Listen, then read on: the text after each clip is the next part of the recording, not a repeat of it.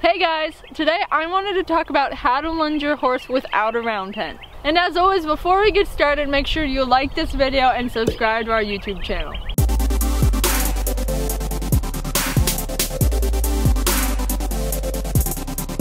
So there are a few reasons why you're going to want to be able to lunge your horse without a round pen.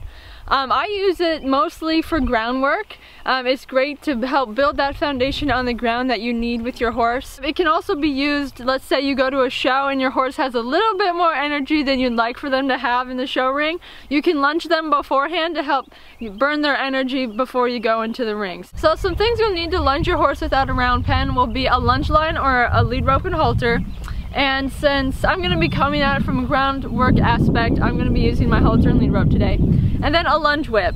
And this isn't to hit your horse, but it's just to act as an extension of your arm and encourage them forward. So the first thing you'll need to know when you're lunging your horse with a lead rope or with a lunge line is how to get them out on the circle around you. So I'm gonna show you what I do to get my horses to go out on the circle. So one exercise that's really gonna help you when it comes to getting your horse to move out away from you and go in the circle around you is to get them to move their shoulders over. So what this means is I want to see their front legs crossing one in front of the other as they step away from me or as they step away from the pressure I'm applying. The horse will go in the direction their shoulders are pointing. So if their shoulders are pointing to you or close to you, then they're just going to keep walking towards you. So I want to get my horse's shoulders to point out so they walk out and away from me. So one way to start communicating to your horse what you want them to do is I'm going to take my hand and put it up towards their eye and my hand is acting as a wall. So it's telling them to get out of my space because what I'm going to do is I'm going to move over to them with my hand asking them to step away from me and then I'm just going to use my crop kind of at their shoulder to ask them to move that leg away. So it'll look like this. Good. So when I've gone to teach this to some people, I've just seen some people go like this and their horse isn't doing anything. So you may have to make a pushing motion with your hand towards the horse's eye to get them out of your space because you see he moves his head. And that way they're just getting the concept. The horse is understanding that I need to get away from the pressure she's applying. And so that'll help them move over. So once your horse understands the concept of stepping away from the pressure you're applying and moving their shoulders over, you can start to challenge them a little bit. So one thing I'm gonna do is I'm gonna stand back farther from my horse and ask him to move his shoulders away so I can get him to go on the circle around me. Good boy. Good. So the concept behind this is the exact same thing. I'm simply asking the horse to move out of my space. So what I'm gonna do is, let's say I want Tucker to move to the left here. So I'm going to position myself at his right shoulder if I want him to move left. And all I'm going to do, I'm going to point in the direction I want him to go. But then I'm going to move and create motion towards his right shoulder so he knows that's the one to move away from. So he's to the point where all I have to do is really raise my crop I'm just going to show you if he were a green horse or a horse that had never done this, how exactly I would do it. So what I'm to do with a green horse or a horse that's unfamiliar with this is I'm to move towards their shoulder and swing my crop in that direction and use my hand to ask him to step away. So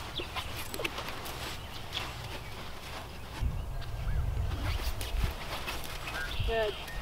So as always, remember it's important to reward your horse when they do what's right. So as soon as your horse crosses their front legs one over the other, or they move and step away from you, they've done good. So you can stop and reward them so they understand the concept that you're trying to teach them.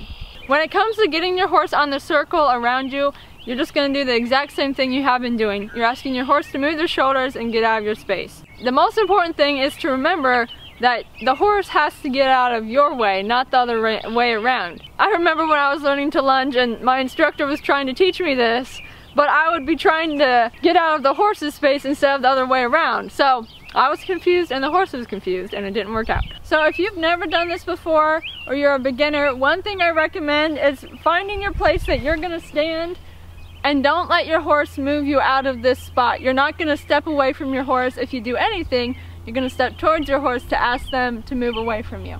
So this is my spot. And now I'm just gonna ask him to get on the rail using what we've been talking about. So, get, and see I step towards him. And it's important to remember this first step of getting your horse to move its shoulders over because this step will actually come back to help us do some more things when it comes to lunging your horse. The next thing you need to know when lunging your horse is how to position yourself in order to get your horse to actually go around you. So maybe you can get your horse on the circle around you, but you can't keep them going or they keep turning into you or it's just not working out. So chances are that you are not in the right position if this is happening. So we're gonna go over where you should be in relation to your horse in order to get them to do what you want. Alright, so the perfect position when lunging your horse is for your body to fall right in between their shoulder and their hip. So you're gonna wanna align with the barrel of the horse, which is right in front of me. And then your crop will point towards their hind end. So if you want a spot to aim your crop specifically, just towards the ground behind their back feet. And then you'll hold your lunge line with this hand so you're kind of forming a triangle with your horse. If your horse is the base of the triangle, you're the point of the triangle, that top point. So that's one way to think about it. So if you, let's say you step in front of the shoulder or you step behind the hip, you're asking your horse to stop. So if I step in front of the shoulder, I'm no longer in the driving position of standing in the middle of the barrel. I'm now beyond their eye line and so they're gonna halt. So our next point is gonna cover how to get your horse to speed up and slow down when you're lunging them. So ideally, you don't want to have to use your lunge whip anytime you need to ask your horse to do something. What I want my horses to do is to be able to read my body language and respond correctly so I don't have to be waving the lunge whip all the time. You can use your body language to control the speed of your horse. So if I want my horse to speed up, what I can do is I can increase my movement and I can push them forward using where I'm standing and what my body's doing. If I want to get my horse to slow down, I can decrease my movement and slow up so they understand that they're supposed to decrease their movement and slow down. Okay, so let's say I want my horse to go faster. What I'm gonna do is I'm gonna make more oomph in my movements. I'm gonna take bigger steps and I'm gonna push him forward although I'm gonna stay with the within his barrel and I'm just gonna widen my steps that I'm taking and push him forward into the movement. So, see, and he knows right away. I'm gonna take a big step, that means he needs to go to the next gait. So I just showed you how to get your horse to speed up. So to slow down, what I'm gonna do is instead of keeping my footsteps increased and my movements really exaggerated, I'm gonna make my movements slow and I'm gonna slow down and make myself, if you think about it, smaller so the horse understands that they're supposed to slow down and kind of decompress. So now that you know how to get your horse moving forward, you need to know how to get your horse to stop. So one way you can get your horse to stop is by disengaging their hind end or getting them to step their hind end around so their hind legs are going to cross one in front of the other and they'll cross their legs around and stop facing you.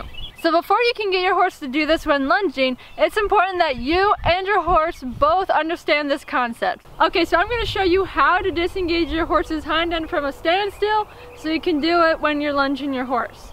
So the concept is, I'm going to take my lead rope, apply pressure to the horse's face by bringing my hand up to their withers and then I'm gonna step towards my horse's hind end to ask them to step away from me. So I'm just asking them to move their hind end out of my space. That's the concept. So I'll show you how to do it. Bringing my hand up, using my rope to ask them to step away, and he swung his hind end over and got out of my way. So that's disengaging the hind end. So once you can do this exercise, just having your horse stand here and you ask them, then you can start asking them when you're lunging. So the most important thing to remember is that when you're lunging your horse, they should always stop facing you. So that means they're gonna have to swing their hind end around to the point where then they are facing you. As always, as you continue to train and work with your horse, they'll be able to respond to more subtle things. But for now, I'm just gonna show you one easy exercise you can do with them when lunging, just so you make sure you know what you're doing and you can make sure your horse knows what you're asking. So what I'm gonna do, I'm gonna get my horse out on the circle. To ask them to stop, I'm simply gonna walk in the direction straight behind them and ask them to swing their hind end around and stop facing me.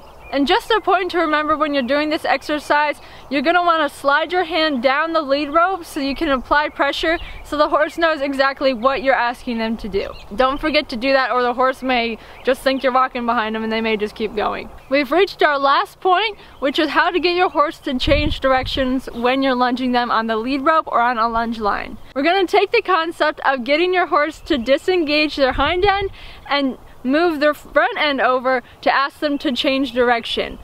Some people find this to be the most challenging point, but if you've taken all the steps we've covered so far, then it should be really simple and easy. So if you've never done this before, an easy way to do this is simply ask your horse to stop by disengaging their hind end and facing you.